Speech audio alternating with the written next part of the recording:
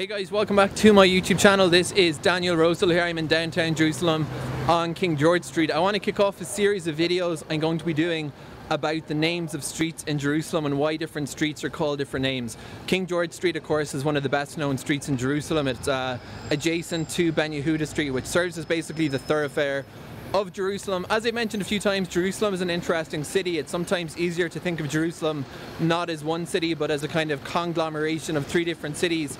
West Jerusalem, which has its uh, downtown area, Ben Yehuda Street.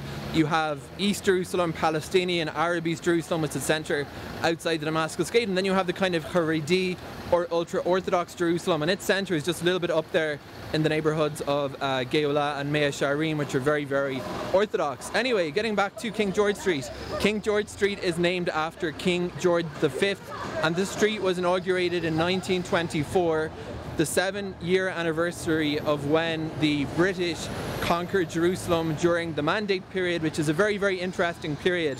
Now, if I just rotate here, the traffic light on the other side at the intersection of King George Street and Yaffo Street, which goes all the way down to Yaffo Gate, that was actually the first traffic light to be installed in Jerusalem. So never say you don't learn stuff watching my YouTube channel. The first traffic light in Jerusalem was at this intersection here just where there is the uh, Naaman bakery today.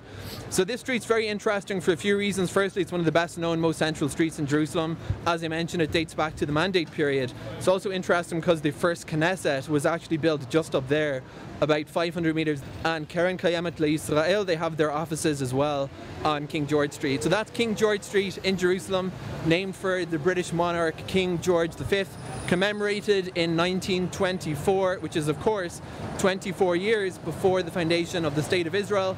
More videos forthcoming about interesting streets in Jerusalem and why they have these names. If you have a recommendation for me to look up the history of a particular street, feel free to drop me a comment. Thanks for watching